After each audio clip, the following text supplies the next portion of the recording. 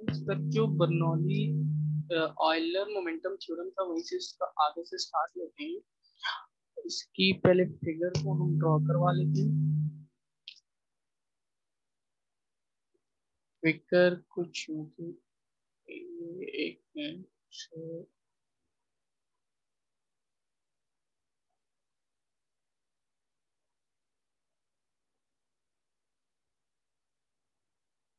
एक section one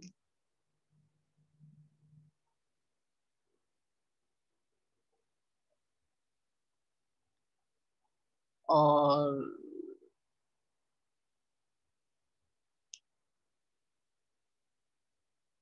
ये हमारे पास सेक्शन ए सेक्शन बी और यहाँ पे जो होगा sigma v1 belongs a a dash, b dash, c d. ये कल Q1 लिखा था, उसको ना Q1 कर दो या V1 कर दो, क्योंकि ये वेलोसिटी है हमारी। तो आपकी मर्ज़ी है, Q कल की तरह जो लिखा है, वही रहने दो Q2 ये हो जाएगा sigma two then C dash and D dash कल ये किया था हम लोगों ने। आज इसको स्टार्ट करते हैं by the Newton second law ये थोड़ा सा साफ़ साफ़। काम से हो जाए।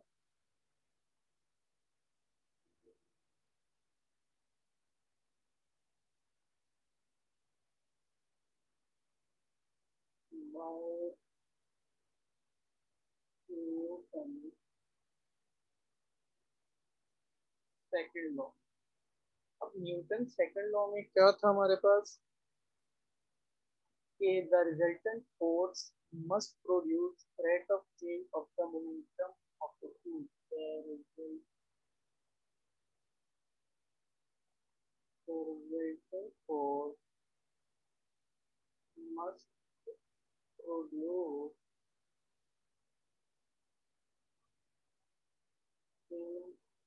of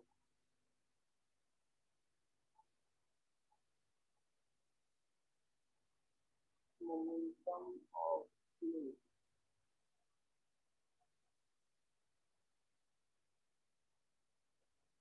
by the Newton's second law, it occupies the portion. अब हमारे पास जो portion थे कौन कौन से थे हमने उसके बारे में डिस्कस करना है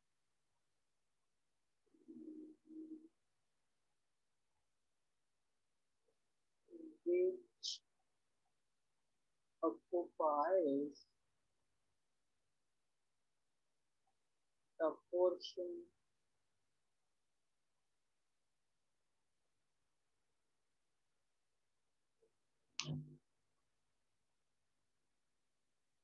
of the planet of the planet A, B, and C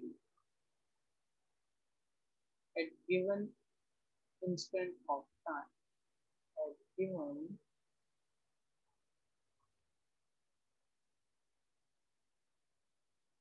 instant of time. ये कल तक हमने कर लिया था मतलब हमने कहा था कि now at a time T now at time T plus delta T will occupy a portion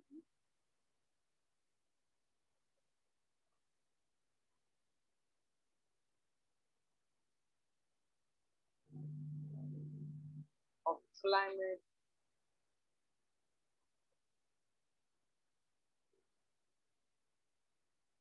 between A dash B dash and C dash D dash after taking T plus delta T. The momentum अब इसमें क्या होगा Thus the momentum of the liquid has increased ये भी हमने लिखना the momentum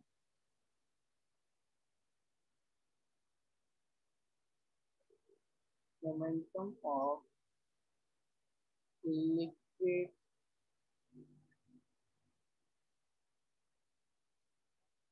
increased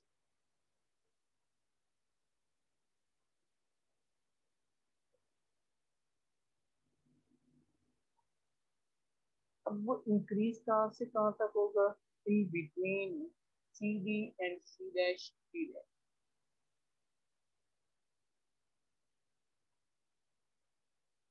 in between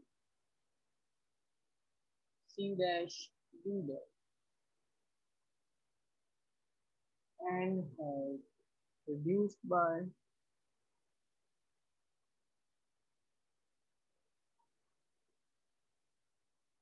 reduced by momentum of flow.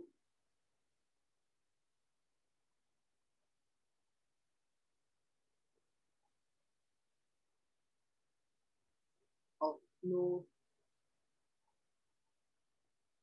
between AB and A dash B dash.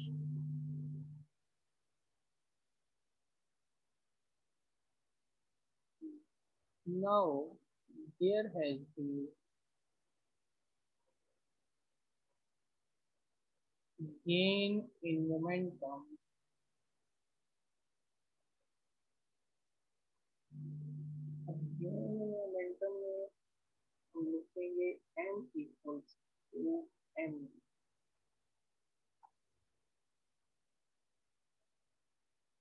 हमें इस बात का पता है कि जो मास है वो क्या होता है? Product of density and volume ये हो जाएगा इसको मैं लिख देता हूँ कैपिटल करके क्योंकि वो जो है, वो वेलोसिटी है और ये जो है स्मॉल v, वो आपकी वेलोसिटी है। रो इंटू वी जो हमारे पास सेक्शन था किसका जो वेलोसिटी का अच्छा यहाँ पे वेलोसिटी को q से लिखेगा जो ऊपर भी हमने q लिखा था तो q से ही। लिखते हुए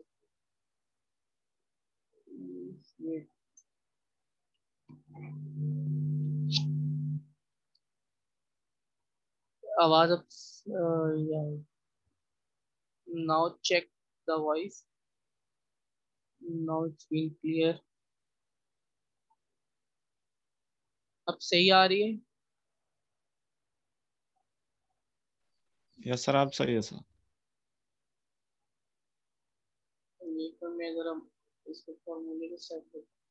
ये product in mass into velocity ये तो वैसे ही आएगा। वेलोसिटी को हमने क्या लिया था? क्यू लिया था।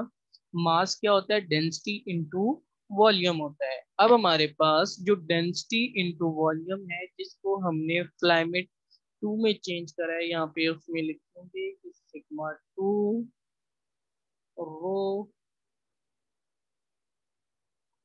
Q two delta T multiply by Q two क्योंकि क्यू जो है हमारी क्या हो जाएगी?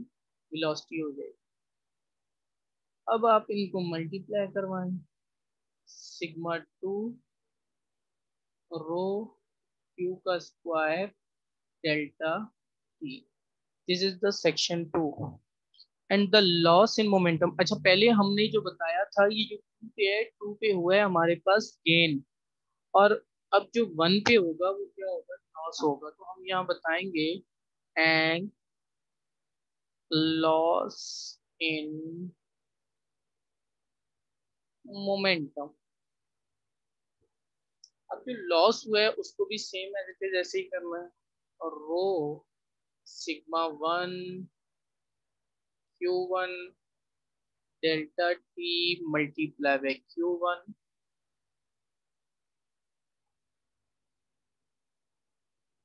delta T ये एट ए बी पे सेक्शन ए बी क्लाइमेट का जो फ़र्स्ट सेक्शन था उस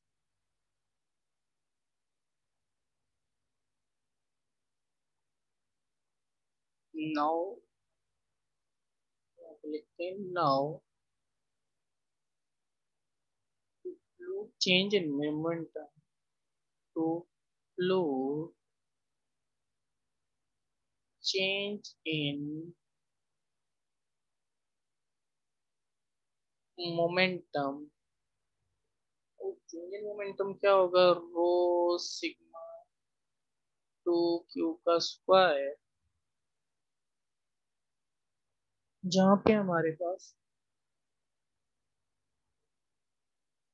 एंड लॉस कहाँ पे हुआ था? Loss in momentum rho sigma one Q one का स्क्वायर ये लॉस इन मोमेंटम अब फाइनल कंक्लूजन इसकी लिखनी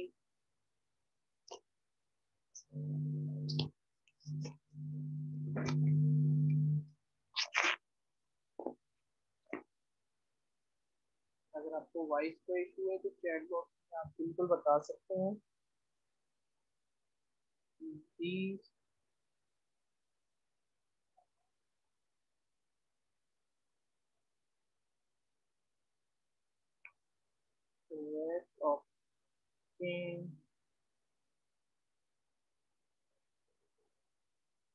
Momentum are produce by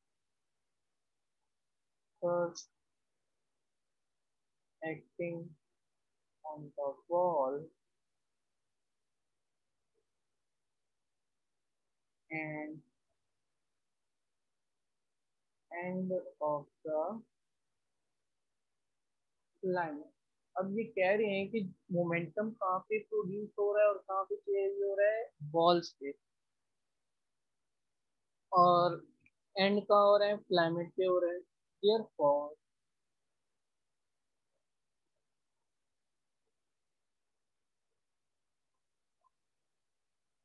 these first must be equal to the forces. अब ये फ़र्स्ट है फ़र्स्ट किसकी वजह से आई है? हम उसके बारे में लिखते हैं। हमारे पास, हमें पता है कि जो फ़र्स्ट होती है due to the flu due to the forces अब वो फोर्सेस कौन कौन सी हैं हमारे पास? वो हमारे पास है रो सिग्मा क्यू वन का square and rho sigma Q two का square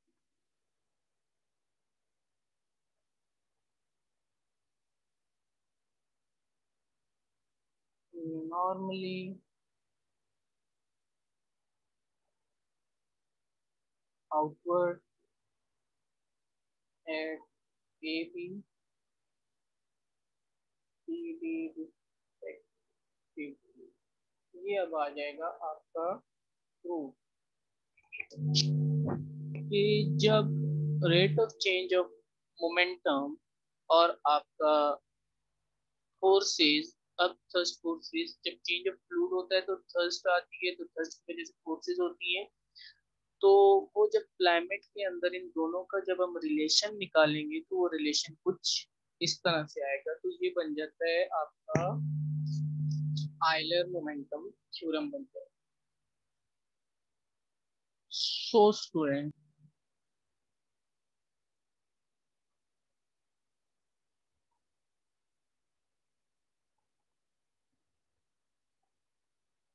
स्टार्ट करते हैं। बर्नौलीज इक्वेशन में सबसे पहले हम आते हैं आयलर्स इक्वेशन की तरफ़।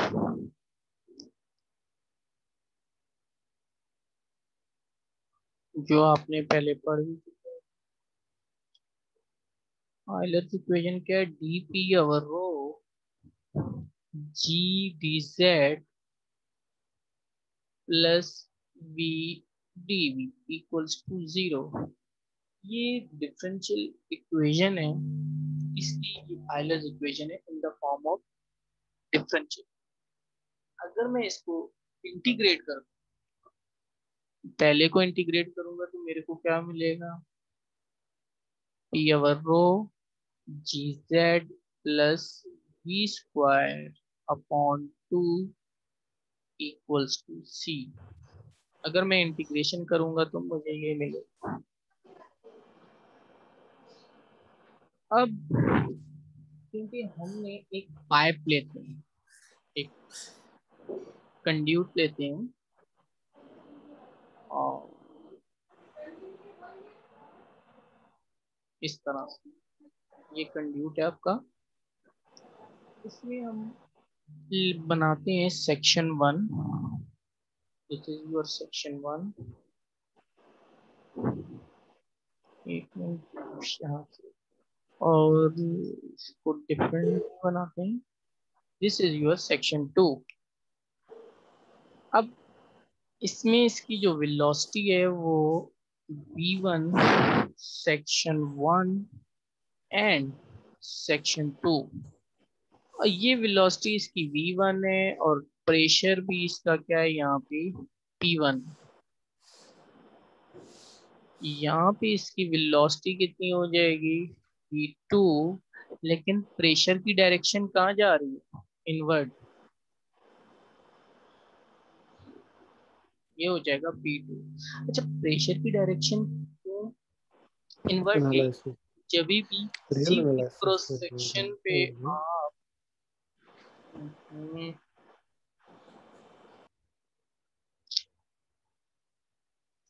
जब भी आप किसी क्रॉस सेक्शन पे प्रेशर अप्लाई करते हैं तो जो उसकी डायरेक्शन होती है, वो इनवर्ड आती है नॉट आउटवर्ड अच्छा इसके अंदर मैं कुछ स्ट्रीम लाइन को भी ड्रॉ करवा देता हूँ। उसका कलर हम थोड़ा डिफरेंट कर लेते हैं। कुछ इस तरह होगी, कुछ इस तरह होगी। ये सारी स्ट्रीम लाइन है इसके अंदर। हम ये भी बोल देते हैं कि अगर अच्छा आइलर्स इक्वेशन जो ड्राइव होती है ना, वो होती है लाइन के लिए if the fluid is flow inside the conduit या tube तो वो किसी पर्टिकुलर स्ट्रीम लाइन के लिए ड्रॉ किए, उस वक्त जब if the flow is rotational अब यहाँ पे अगर एक कंडीशन भी डाल दें कि अगर हमारे पास ये फ्लो है rotational now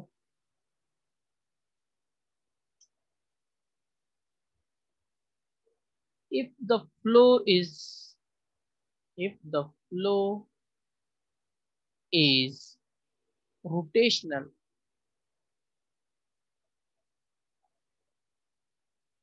अगर हमने बोल दिया फ्लो रोटेशनल है तो हमने लास्ट क्लास में जो पढ़ा था, याद है कि जिसमें वॉटिसिटी इक्वल्स टू ज़ीरो हो जाए तो rotational does not equals to zero means आपके पास क्या आ जाएगा? रोटेशनल आ जाएगा। Del into velocity of vector does not equals to zero. अगर फ्लो रोटेशनल होता है तो ये जितने भी आपकी स्ट्रीम लाइन की कांस्टेंट है, इस रोटेशनल पे हर स्ट्रीम लाइन की ये जो कांस्टेंट की वैल्यू है, ये अलग होगी इसके लिए स्ट्रीम लाइन की वैल्यू अलग होगी, इसके लिए अलग होगी, इसके लिए अलग होगी लेकिन हमें जो चाहिए, हमें क्या चाहिए? लेकिन क्या आयलर इक्वेशन जो ऊपर हमने इंटीग्रेशन करके लेके आए क्या वो इसके अंदर फिट होती है? वो ये कहती है कि आपके पास ये किसी पर्टिकुलर स्ट्रीम लाइन के लिए, एक किसी स्ट्रीम लाइन के लिए। लेकिन अगर हम कह रहे हैं कंड्यूट के अंदर फ्लो जो है रोटेशनल है तो उसके लिए जो स्ट्रीम लाइन की, यानी कि हर स्ट्रीम लाइन की जो वैल्यू होती है कांस्टेंट की, वो डिफरेंट होगी। मींस यहाँ पे ये इसको इस बात को सेटिस्फाई नहीं कर तो यहाँ पे लिख देते हैं हम।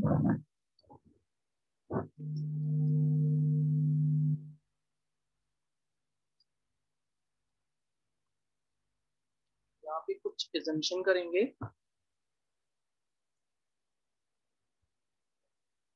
ये अच्छा रोटेशनल फ्लो के लिए नॉट ए रोटेशनल ये रोटेशनल के लिए बताया। अगर हम बोल देते हैं कि if the fluid is rotational यहाँ पे लिख देते हैं कुछ अजम्पन करते हुए। Fluid is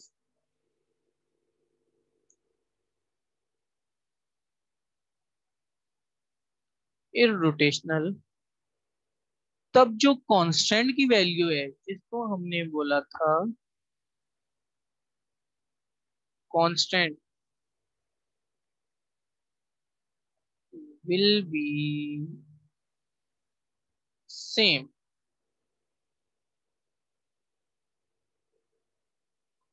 For every streamline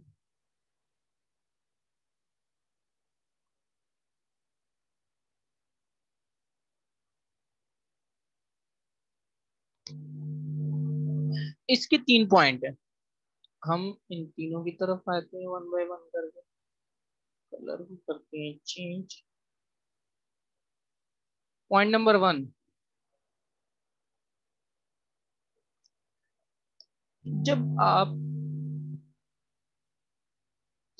Bernoulli equation कर रहे होते हैं तो फ्लो इज़ इरोटेशनल होना चाहिए। जब फ्लो इरोटेशनल होना चाहिए तो पहला जम्शन ये होता है कि आपके पास जो फ्लो हो, वो स्टडी फ्लो हो। मतलब टाइम इन्वॉल्व ना हो। Point number two inviscid and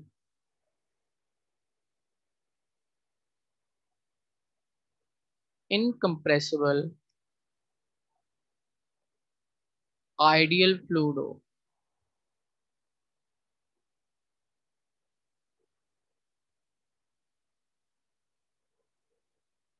point number 3 flow must be irrotational जो बहुत ही इंपॉर्टेंट पॉइंट है। Flow must be